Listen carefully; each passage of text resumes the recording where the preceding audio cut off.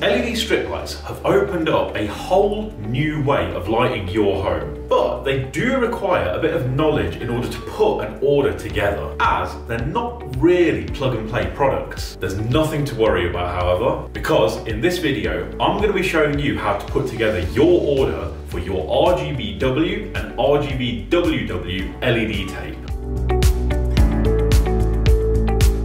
Now this video has been designed to walk you through the process of buying your LED tape step by step. So by all means, feel free to put me on pause, add the component that you need to your basket and resume once you're ready to carry on. Now, with any tape installation, it makes sense to start at the tape itself. So, step one is to measure the length of tape in meters that you need for your space and to keep a note of it as this will determine a really vital component later on in the process. What's also worth noting here is that we sell LED tape by the meter. So for example, if you need 3.3 meters, you would need to order four meters of tape. Step two is to connect your tape to your chosen controller. And this is done very easily through 5 core cable. Now you will get 10 centimeters of 5 core cable free with your tape anyway. And for most people, this is fine. But if you do need more than that, you will need to buy some additional core cable, which we can solder onto the end of your tape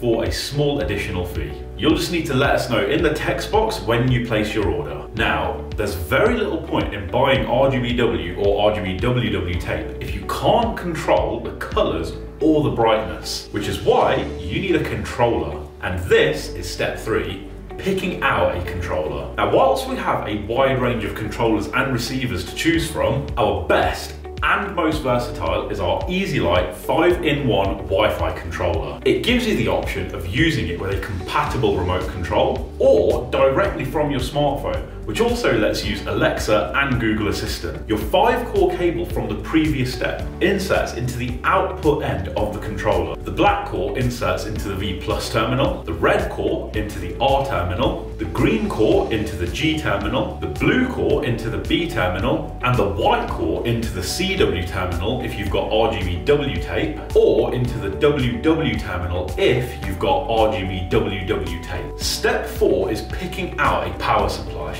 And there are two things that are vitally important here. The voltage and the max capacity. The voltage is easy.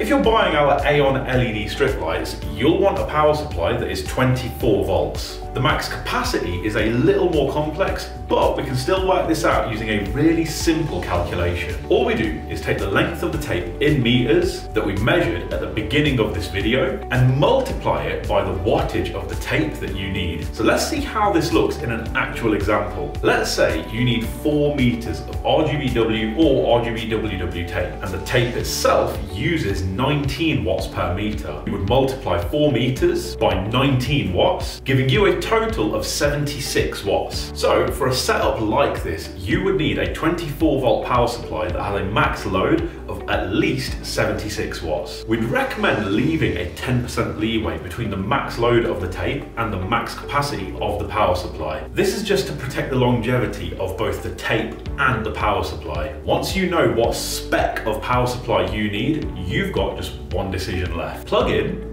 or hardwired. Plug-in is the easier option and involves using one of our AC-DC power adapters as they plug directly into your Easilight 5-in-1 Wi-Fi controller and the other end plugs directly into any standard wall socket and that's it. So let's quickly recap this setup where you've got a controller with a plug-in power supply. You'll need your RGBW or RGBWW tape, some 5-core cable. Don't forget, you'll get 10 centimeters as standard with your tape, an Easilight 5-in-1 Wi-Fi controller, and an AC-DC power adapter. If you wanted to opt for a hard-wired power supply, however, there are a couple of extra accessories that you'll need to purchase. The first is some 2-core cable. This is just just like your 5 core cable, but has two cores instead of five. You'll also need two of these Wago lever connectors. And here is how it all fits together. Positive core of your two core cable, that's the plain white one,